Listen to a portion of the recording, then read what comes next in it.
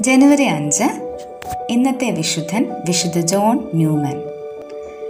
ആയിരത്തി എണ്ണൂറ്റി പതിനൊന്ന് മാർച്ച് ഇരുപത്തിയെട്ടിന് ബൊഹോമിയായിലെ പ്രാച്ചാറ്റസ് ഗ്രാമത്തിലുള്ള ഒരു കാലുറ നെയ്ത്തുകാരന്റെ ആറു മക്കളിൽ ഒരാളായാണ് വിശുദ്ധ ജോൺ ന്യൂമൻ ജനിച്ചത്.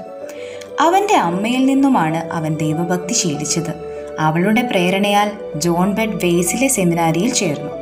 സെമിനാരി ജീവിതത്തിനിടയ്ക്ക് ഒരു സുവിശേഷകനായി അമേരിക്കയിൽ പോകണമെന്നായിരുന്നു ജോൺ ആഗ്രഹിച്ചിരുന്നത്.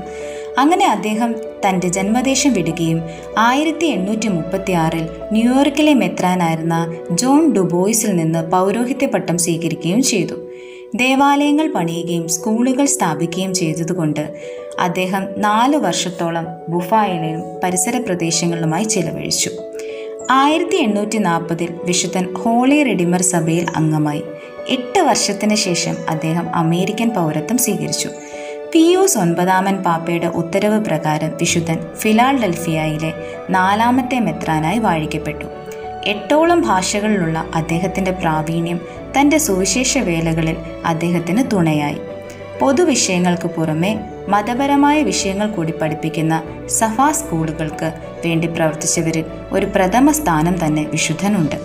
വിശുദ്ധന്റെ ജീവിതത്തിൽ പ്രത്യേകമായി എടുത്തു പറയേണ്ട ഒരു കാര്യമാണ്. റോമിൽ വെച്ച് പരിശുദ്ധ മാതാവിന്റെ അമലോത്ഭവ പ്രമാണ പ്രഖ്യാപന ചടങ്ങിൽ പങ്കെടുത്തത്. ഇദ്ദേഹത്തിന്റെ പ്രവർത്തന ഫലമായാണ് നാൽപ്പത് മണി ആരാധന രീതി ഫിലാഡൽഫിയ രൂപതയിൽ ആരംഭിച്ചത്. ഇറ്റാലിയൻ ഭാഷ സംസാരിക്കുന്നവർക്കായി അമേരിക്കയിലെ ആദ്യത്തെ ദേവാലയം ഇദ്ദേഹമാണ് നിർമ്മിച്ചത്. വിശുദ്ധ ഫ്രാൻസിസിന്റെ മൂന്നാം സഭയിലെ ഗ്ലെൻ റിഡിൽ സന്യാസിനി വിഭാഗത്തിന്റെ സ്ഥാപകനും വിശുദ്ധ ജോൺ ന്യൂമാനാണ്. ആയിരത്തി എണ്ണൂറ്റി അറുപത് ജനുവരി അഞ്ചിന് തന്റെ നാൽപ്പത്തെട്ടാമത്തെ വയസ്സിൽ വിശുദ്ധൻ തെരുവിൽ തളർന്നു വീഴുകയും തന്റെ സുവിശേഷ പ്രവർത്തനങ്ങളെല്ലാം ഉപേക്ഷിച്ച് കർത്താവിൽ അന്ത്യനിദ്ര പ്രാപിക്കുകയും ചെയ്തു. ഫിലാഡൽഫിയയിലെ സെന്റ് പീറ്റേഴ്സ് ദേവാലയത്തിലെ താഴത്തെ പള്ളിയുടെ അൾത്താരയ്ക്ക് കീഴെ വിശുദ്ധനെ അടക്കം ചെയ്തിരിക്കുന്നു. വിശുദ്ധ പദവിയിൽ എത്തുന്ന ആദ്യത്തെ അമേരിക്കൻ മെത്രാനാണ് ന്യൂമാൻ. ആയിരത്തി തൊള്ളായിരത്തി എഴുപത്തി ഏഴ് ജൂൺ പത്തൊമ്പതിന് പോപ്പ് പോൾ ആറാമൻ അദ്ദേഹത്തെ വിശുദ്ധനായി പ്രഖ്യാപിച്ചു.